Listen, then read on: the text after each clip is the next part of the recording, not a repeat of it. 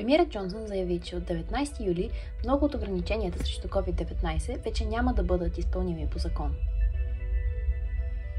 Пандемията обаче не е преминала и има хора, които все още са изложени на риск. Степента на вируса остава по-висока, отколкото бихме искали. Затова правителството заяви, че трябва да продължим да правим всичко възможно, за да останем в безопасност. Като, например, носенето на маска, ограничението на контакти с други и срещи на открито, когато това е възможно. Първо, молим да се съгласите да се вакцинирате с двете дози.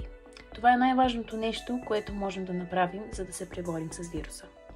Направете си тест, ако имате симптоми на COVID-19 и се самоизолирайте, ако сте положителни или ако NHS Test and Trace го изисква от вас. Има много начини за подкрепа, ако се нуждаете от нея, за да можете да се самоизолирате.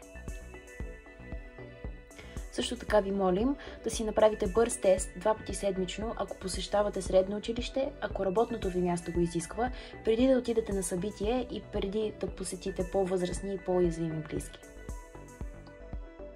Да се срещате с хора на открито или на добре проветриви места. Да пазите разстояние от другите. Да носите маска на места с много хора или там, където не можете да спазвате разстояние и да миете ръцете си често. Битката с COVID-19 още не е приключила и затова всички трябва да продължим да играем своята роля. Благодарим ви!